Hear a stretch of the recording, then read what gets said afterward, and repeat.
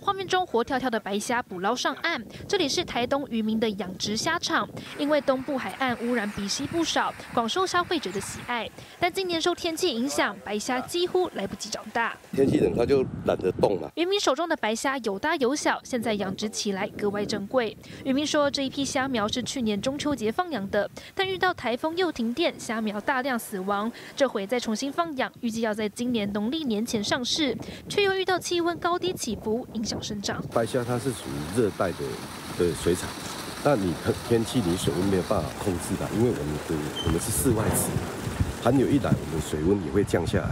那降下来会造成虾子或是那些鱼虾贝类，它会受寒，它会冻死。除了气温影响，候鸟大量出现带来病菌，也造成白虾大幅减少。目前市面上一斤白虾已卖到四百元，民众想吃恐怕也要碰碰运气。